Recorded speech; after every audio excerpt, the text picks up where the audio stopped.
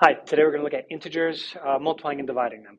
So when I go through these problems, I want to think of it in uh, two ways. First way, let's worry about the number. 3 times 4.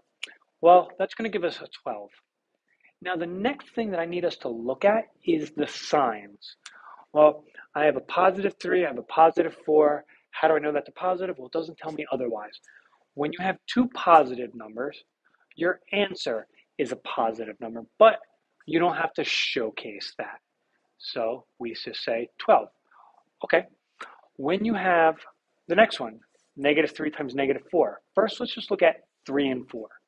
That gives us 12. A negative times a negative now, here's where things get different. Well, when you have same signs, whether it be positive, positive, or negative and negative, your final answer is going to be a positive answer. Okay, well, not a big deal here. Well, what about this? Well, I have two negative signs. I have one, two. I have one sign, two signs. They make a positive. So same sign gives you a positive answer. You do not need to show that. However, when you have a positive and a negative or negative and positive, still getting 12, 3 times 4. But when you have different signs, different signs mean negative. 3 and 4, 12 again, negative, positive, it doesn't matter the order.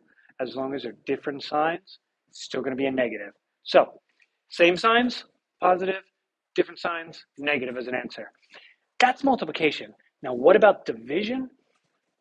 It's all the same rules. 10 divided by 2 is 5. Positive, positive, my answer is positive. Do you need to show that plus sign? No. 10 and 2 gives me 5. A negative and a negative is a positive. You don't need to show it. 10 and 2 we know is 5, but now we have a different sign. Different means negative. We have 5 again, but this time a positive and a negative. It doesn't matter as long as one of them's a negative, my answer stays a negative. And that is multiplying and dividing integers.